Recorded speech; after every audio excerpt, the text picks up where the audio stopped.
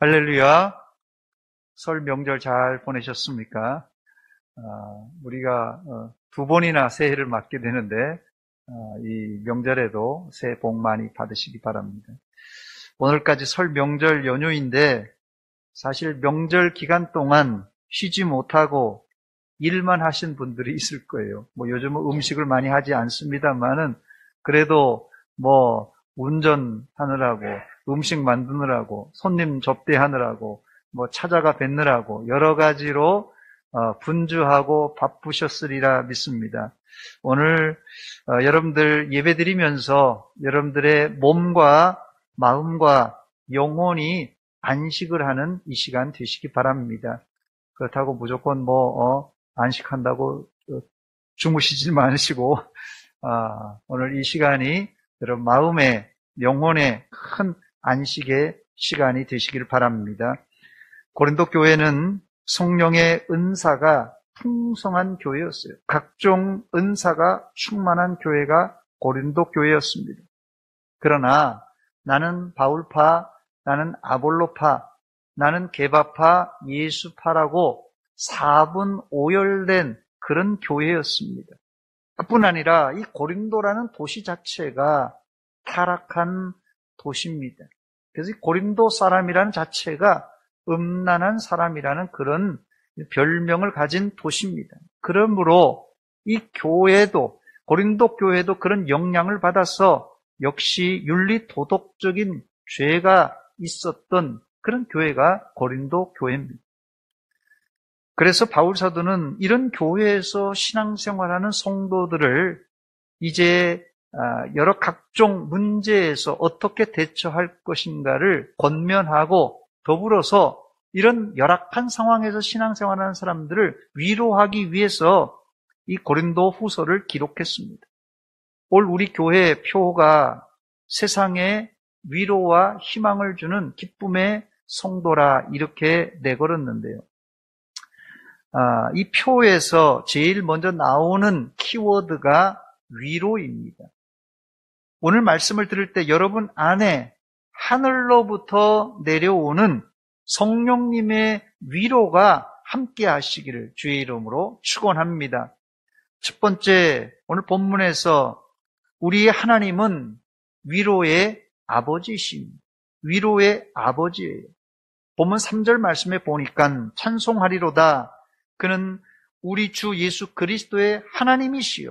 자비의 아버지시요. 모든 위로의 하나님이시며 그랬습니다. 여기 바울 사도는 하나님을 우리 주 예수 그리스도의 하나님이시요 자비의 아버지라 이렇게 말한 후에 모든 모든 위로의 하나님이라 말하고 있습니다. 하나님이 위로의 하나님이란 말이 무슨 뜻입니까? 하나님께서 위로의 하나님이라는데 과연 이 위로의 하나님이란 뜻이 무슨 말입니까? 우리가 누구를 위로한다 그럴 때 여러분 공연히 잘 살고 있는 사람을 위로해 줍니까? 위로라는 뜻은 어떤 원인, 즉 위로를 받아야 할 어려운 상황이 있는 사람에게 따뜻한 말로 격려해 주고 위로해 주는 것입니다. 그렇다면 왜 바울 사도는 고린도 교회의 이 두 번째 편지를 시작하자마자 위로라는 단어를 자그마치 오늘 본문에 10번이나 나옵니다. 뭐 3절로 7절까지 짧은 구절인데 10번이나 위로 위로 위로 이 위로를 왜 이렇게 많이 썼던 것입니까? 그 이유는 고린도 교회 지금 시급하게 위로가 필요했기 때문입니다. 그리고 동시에 이 편지를 쓰고 있는 바울 사도도 하나님의 위로가 절실히 필요했던 사람입니다. 이 사실에서 우리는 한 가지 귀한 사실을 알게 되는데 이 땅 위에 살고 있는 인생 가운데 하나님의 위로가 필요 없는 사람은 아무도 없다는 사실입니다. 그런데 사람들은 단지 자존심 때문에 혹은 자신의 약함을 보이지 않기 위해서 위로를 안 받으려고 합니다. 이것은 한국이나 일본 같은 동양 문화권의 사람들에게 아주 강하게 나타나는 현상인데 동양 문화권에서는 남에게 위로받는다는 것이 남에게 폐를 끼친다 이렇게 생각합니다. 그런데 저는 3절에서 이 모든이란 단어에 눈길이 갑니다. 하나님은 그냥 위로의 하나님이 아니라 우리의 모든 이 사소한 것까지도 위로해 주시는 자비의 아버지이십니다. 그러므로 여러분, 하나님이 위로해 주신다고 미안해 할 필요가 없습니다. 하나님은 우리의 아버지시요, 보호자이십니다. 하나님의 위로를 받는 것은 즉 성도들의 특권입니다. 예수 안 믿었다면 우리가 어디서 이런 하나님의 위로를 받을 수 있겠습니까? 두 번째, 그런데 하나님이 우리를 위로해 주시는 데는 또 다른 의도가 있는데 하나님은 우리가 위로를 받고는 위로가 필요한 사람에게 위로자가 되라고 이 우리를 위로해 주시는 것입니다. 본문 4절입니다. 우리의 모든 환란 중에서 우리를 위로하사 우리로 하여금 어떻게 해요? 하나님께 받는 위로로서 모든 환란 중에 있는 자들을 능히 위로하게 하시는 이시리로다 그랬습니다. 하나님은 많은 환란 가운데서 우리를 위로해서 먼저 우리가 위로받고 힘을 내서 그 다음에 환란을 당하고 있는 사람들을 위로하라고 하십니다. 여기 4절에 보니까 우리의 모든 환란 중에서 했는데 여기 우리는 누구입니까? 지금 편지를 쓰고 있는 바울과 디모데를 의미하는 말입니다. 즉 환란 가운데 있는 바울과 디모데는 하나님의 위로를 받고 나서 환란 중에 있는 사람을 누구예요? 고린도 교인들과 여러 사람들을 위로하고 있습니다. 심리학에서 상처 입은 치료자 운디드 힐러라는 말이 있습니다. 상처 입은 치료자라는 말이 있습니다. 이 용어를 심리학자 칼 융과 헨리 나우엔이 사용해서 유명한 말이 되었는데 이 말의 출처는 그리스 신화까지 거슬러 올라갑니다. 그리스 신화에 이 케이론이라는 반인 반마 한번 저 자막을 주세요. 반인 반마 여러분 반인 반마가 뭡니까? 반쪽은 사람이고 반쪽은 뭐예요? 말이라는 것입니다. 아, 이 케이로는 여러 제자를 가르치는 이 그리스 신화에 나오는 얘기입니다. 아, 전설에 나오는 거예요. 아, 신화예요, 그냥. 지혜로운 스승이었다고 합니다. 이 케이론을 제가 그 사진을 하나 준비했습니다. 한번 사진 한번 보시기 바랍니다. 사진이 좀 일그러졌는데요. 반인, 반마. 그래서 한쪽은 사람이고 한쪽은 어, 말이에요. 이게 박물관에 있는 아, 사진입니다. 또 사진 한 장 더 준비했습니다. 한번 보시기 바랍니다. 저게 아, 저기도 뒤에 말꼬리가 붙어 있죠. 그 케이론과 제자 아킬레스가 어, 스승이었어요. 그래서 케이론이 스승이었는데 제자 아킬레스를 가르치고 있는 장면입니다. 됐습니다. 자, 그런데 이 케이론이 이 아킬레스 외에도 제자들이 많았습니다. 그 중에 이 헤라클레스, 여러분 아십니까? 헤라클레스. 힘이 센 헤라클레스가 제자였어요.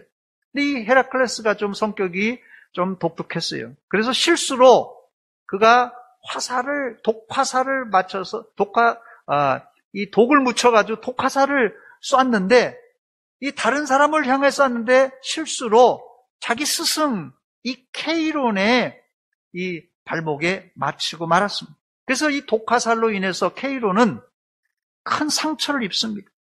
그는 자기의 상처를 치료해 보려고 여러 가지 약을 써보았지만 소용이 없었어요.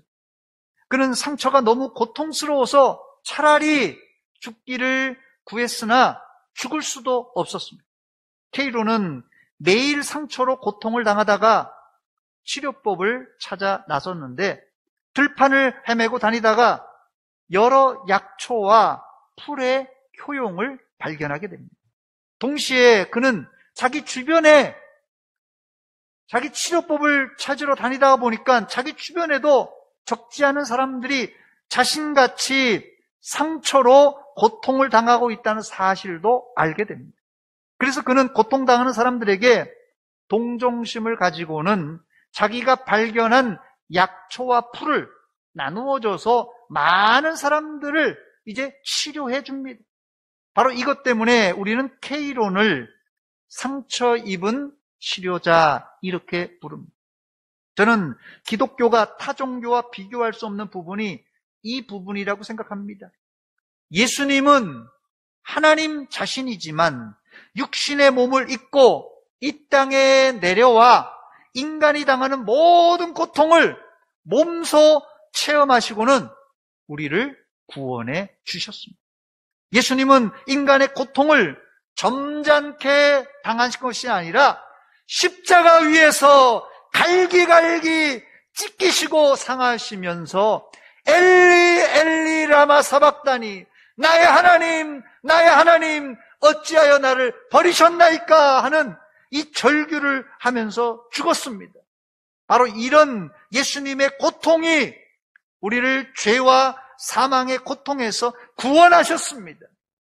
암 환자에게 목사가 가서 하나님의 말씀으로 위로하면 그 말씀에 위로받을 수 있습니다. 그러나 목사도 암을 경험하지 못했기 때문에 그 고통을 공감하기가 어렵습니다. 그러나 암에 걸려 오랜 투병 중에 치료받은 사람이 암에 걸려 신음하는 환자에게 한마디 하면 환자의 신금을 울릴 수 있는 위로의 말이 될 수 있다는 것입니다. 이게 바로 상처 입은 치료자입니다. 상처 입은 치료자. 즉, 여러분이 인생을 살아오면서 여기 지긋하게 나이 드신 분들이 많으신데 여기 인생을 살아오면서 소위 얘기하는 산전수전, 공중전 다 겪었지 않습니까? 그리고 심지어 지금도 고통을 당하고 있습니까? 여러분들은 다른 사람을 위로해 줄 수 있는 기본적인 자질을 가지고 있는 분들입니다. 나보다 더 아픈 환자들이 세상에는 너무너무 많다는 사실을 기억하시고 그들에게 다가가서 하나님의 위로를 전달하는 위로자들이 되시기를 바랍니다. 세 번째, 그런데 우리의 삶의 현장은 어떻습니까? 공동체 안에서도 형제의 상처를 감싸주고 위로해 주기란 상당히 어렵습니다. 여기엔 특별한 훈련, 남의 입장에서는 훈련이 필요합니다.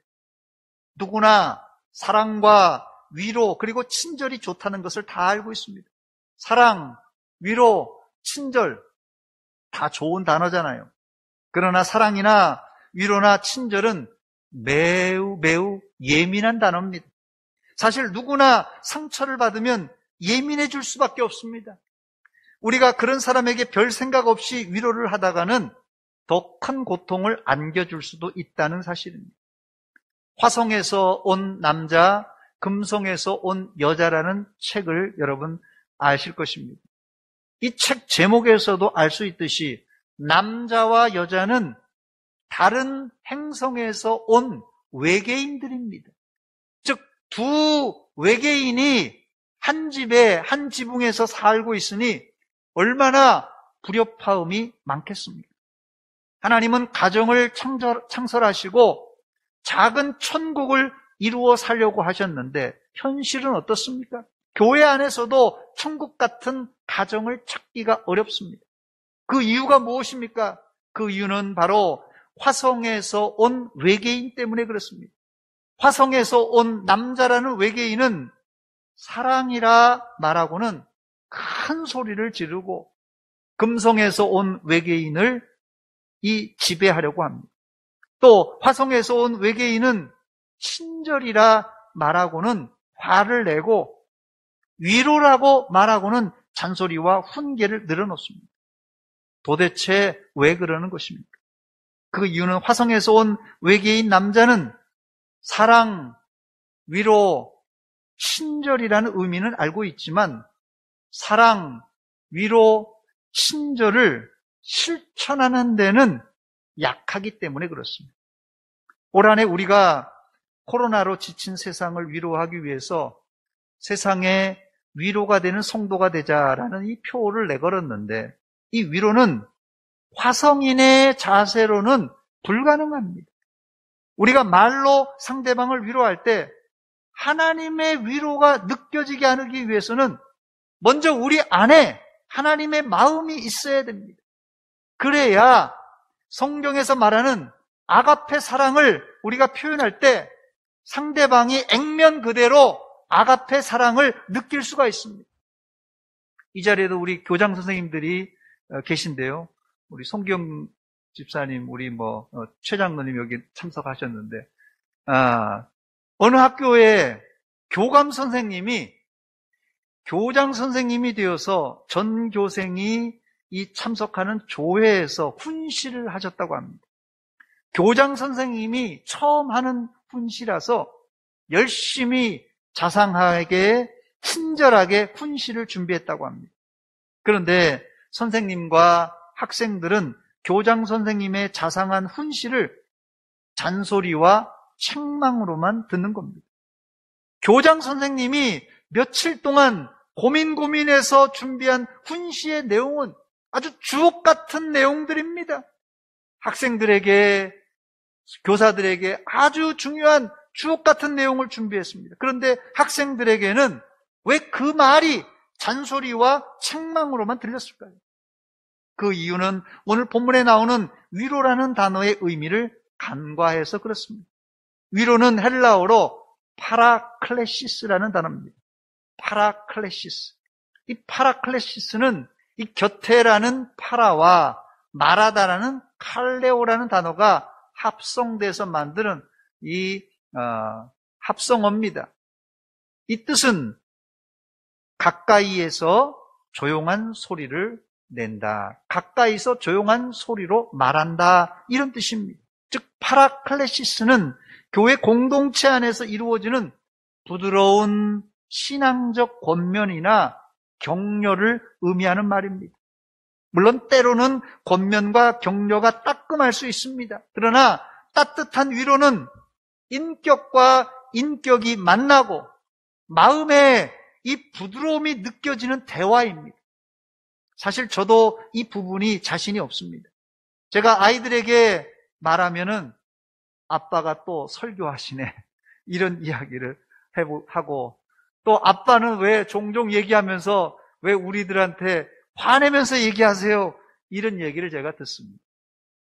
제가 직업적인 습관이 몸에 배어 있어서 그런지 가정에서도 목사로 역할을 하다 보니까 이런 현상이 빚어진 것 같습니다. 저도 깊이 반성하고 있습니다. 올 한 해 여러분들은 위로라는 겉모습과 그 속에 담긴 이 따뜻함과 부드러움을 몸속 깊이 습득하여 여러분들이 말할 때 이 듣는 자들의 마음에 잔잔한 감동이 일어나는 위로자가 되시기를 주의 이름으로 축원합니다. 위로는 그래서 내 입장에서 말하는 것이 아니라 남의 입장에 서려는 훈련을 통하여서 잘 위로가 전달될 수 있다는 뜻입니다. 네 번째, 다시 본론으로 돌아와서 바울 사도가 고린도 교회에 편지를 쓰면서 위로라는 말을 제일 먼저 쓴 이유는 당시 자신을 비롯해서 극심한 환란을 당한 성도들이 많았기 때문에 그렇습니다. 본문 5절과 6절입니다. 그리스도의 고난이 우리에게 넘친 것 같이 우리가 받는 위로도 그리스도로 말미암아 넘치는도다. 우리가 환란 당하는 것도 너희가 위로와 구원을 받게 하려는 것이요. 우리가 위로를 받는 것도 너희가 위로를 받게 하려는 것이니 이 위로가 너희 속에 역사하여 우리가 받는 것 같은 고난을 너희도 견디게 하느니라 그랬습니다.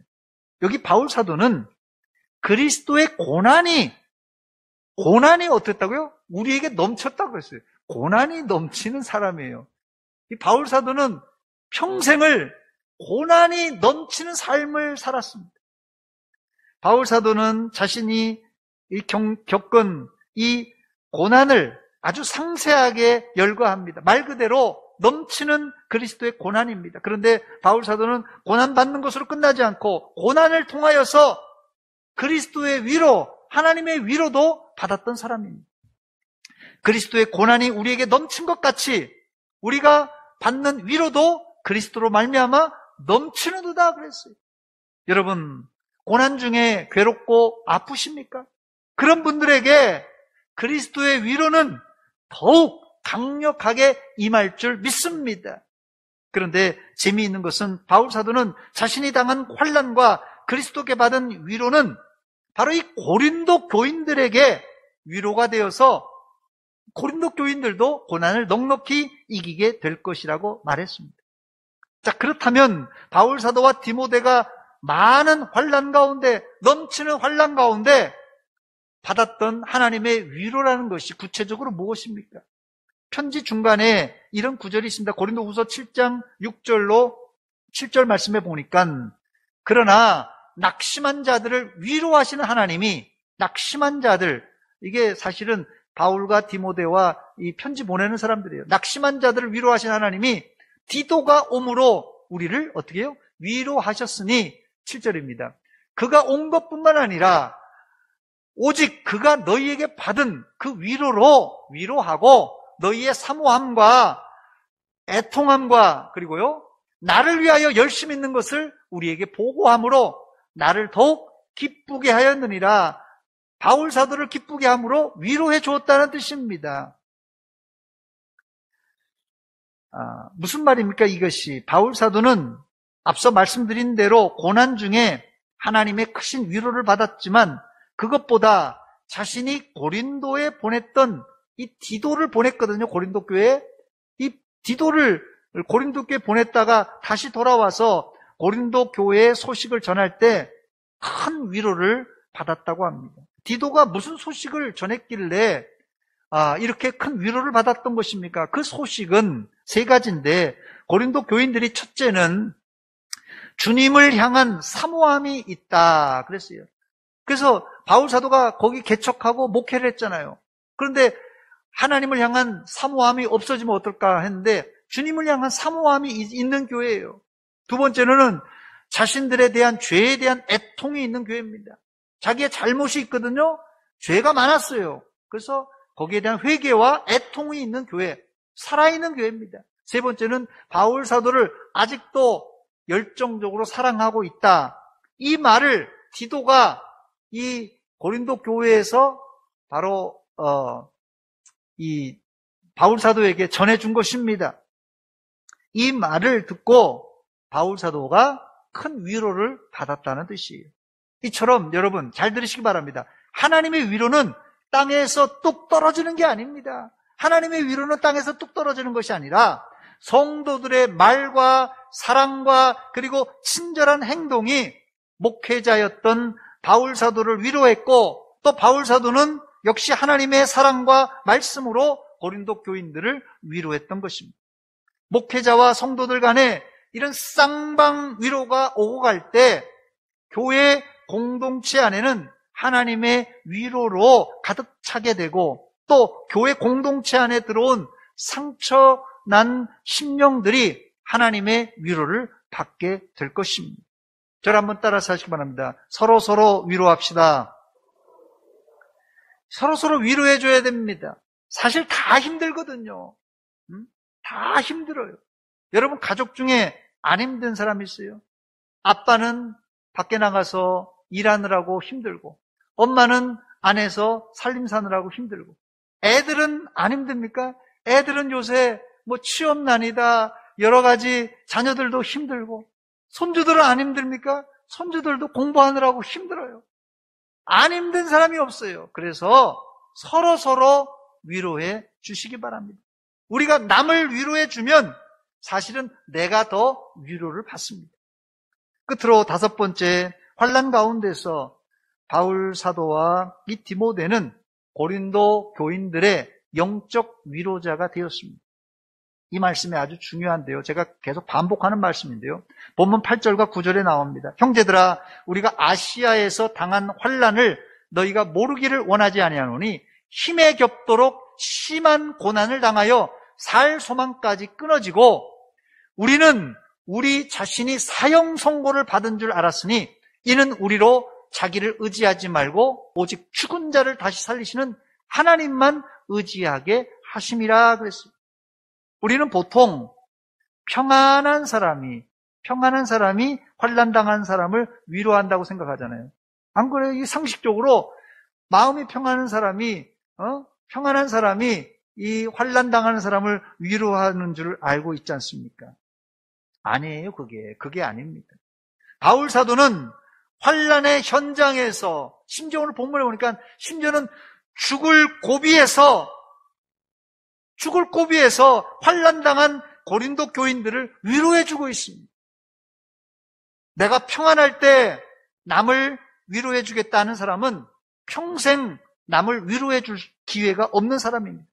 바울 사도는 힘에 겹도록 심한 고난을 당하여 살 소망까지 끊어지고 사형 선고를 받은 줄 알았다고 했습니다.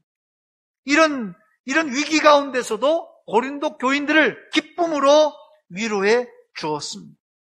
아마 고린도 교인들은 바울 사도의 상황을 듣고 눈물을 흘렸을 것이에요. 눈물을 흘릴 것이에요.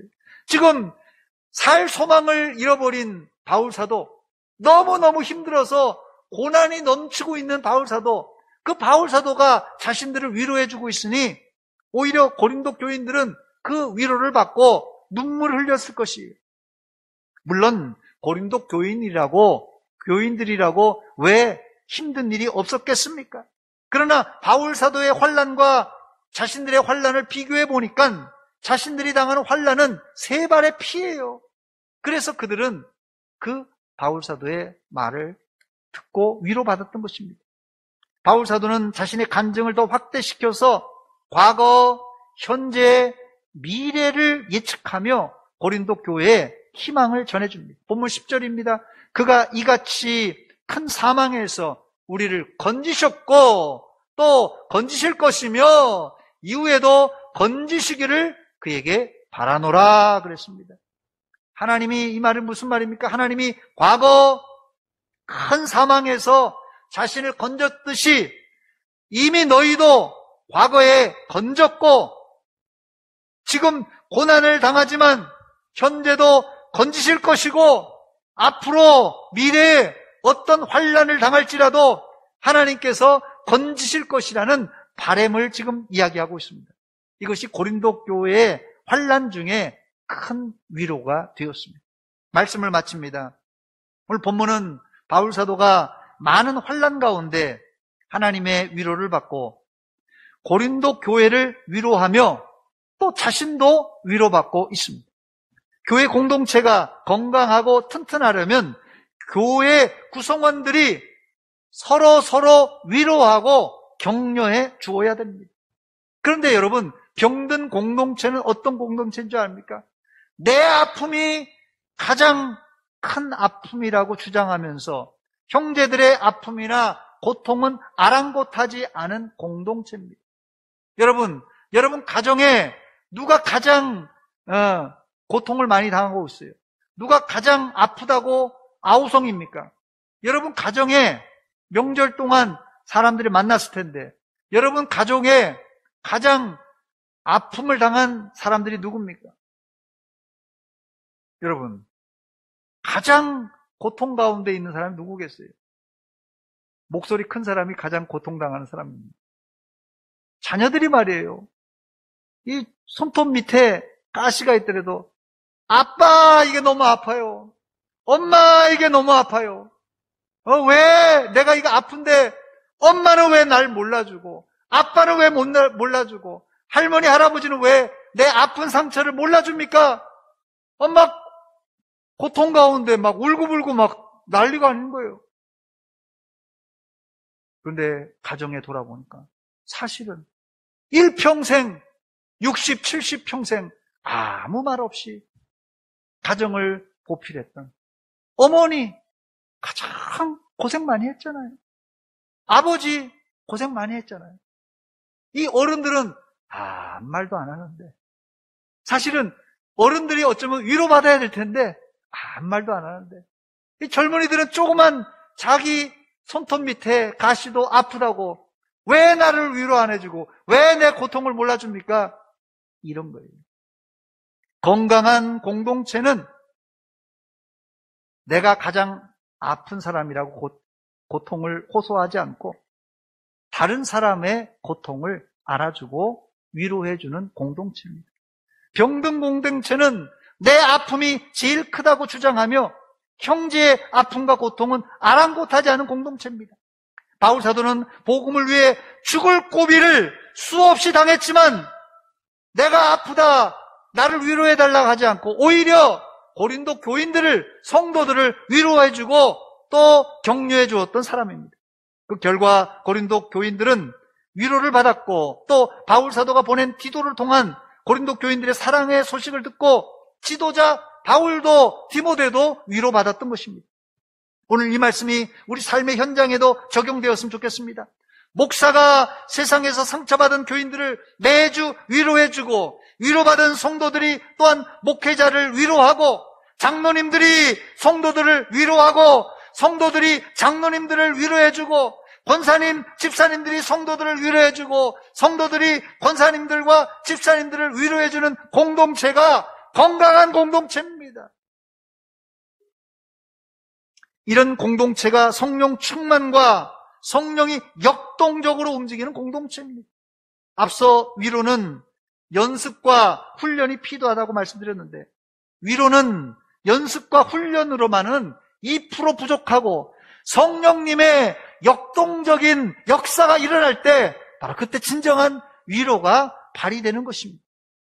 화성에서 온 외계인 남자의 가슴에 성령이 역사하시면 비로소 금성에서 온 외계인 여자를 여자의 말을 알아듣게 되고 금성에서 온 여자의 마음에 성령님이 역사하면 목석 같은 화성에서 온 남자도 이해하게 된다는 것입니다. 화성에서 온 남자와 금성에서 온 여자가 성령의 역사 가운데 서로 위로할 때 우리 가정과 또 교회가 하나님이 원하시는 천국을 이루게 될 줄 믿습니다. 그런데 위로에는 한 가지 요령이 필요한데 위로는 내가 살던 행성의 말이 아니라 상대방의 행성 말로 할 때 상상을 초월하는 위로가 됩니다. 예를 들면 이런 겁니다. 미국 사람이 한국 온 지 한 달도 안 됐어요. 한국말을 딱 한마디, 감사합니다. 이 한마디만 할 줄 아는 미국 사람이 길을 가는데 길을 가르쳐 줬다고 thank you라고 하지 않고 감사합니다. 이렇게 말한다면 여러분들은 어떻게 받아들이겠습니까? 아마도 그 미국인을 보고 감동할 것입니다. 미국인의 한국말 한마디가 우리에게 큰 감동을 줄 수가 있습니다. 위로라는 것이 이런 원리입니다. 여러분이 쓰는 언어가 아니라 상대방이 아는 본토 말로 더듬거리면서 감사합니다. 고맙습니다. 미안합니다. 죄송합니다. 이렇게 해보시기 바랍니다. 그 한마디에 금성이는 뿅 갑니다. 앞으로 어떤 위로라도 상대방이 공감할 수 있게 상대방의 언어로 말해 주시기 바랍니다. 그러면 그 위로는 성령의 감동과 감동의 눈물로 버물려져서 새로운 하나님의 나라를 만들어낼 줄 믿습니다. 이제 여러분들은 고생, 고생 많이 하신 분들이에요.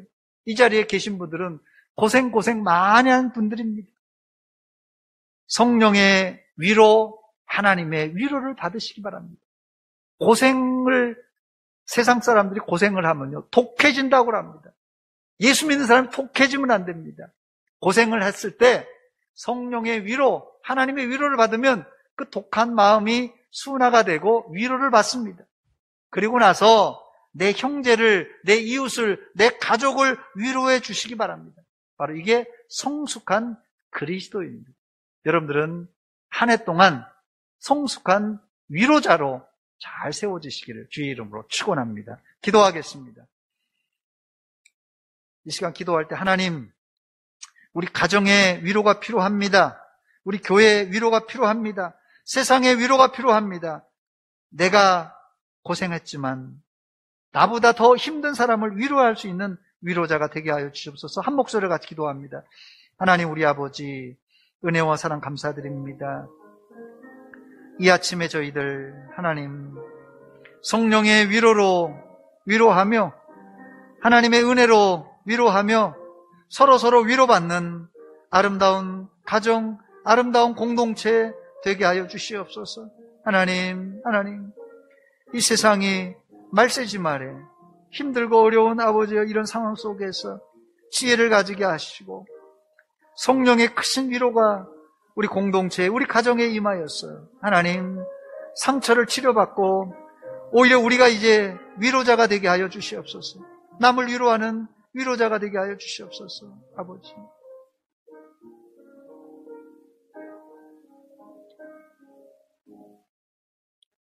하나님 우리 아버지 은혜와 사랑 감사드립니다. 구정 명절을 보내고 하나님 앞에 나와서 예배드리는 주일입니다. 하나님 이 시간 우리 안에 혹이라도 상처와 아픔과 고통이 있습니까? 성령께서 만져주시고 위로해 주시다 치료받고 우리도 남을 위로하는 위로자들이 되게 하여 주시옵소서 예수님의 이름으로 기도하옵나이다. 아멘.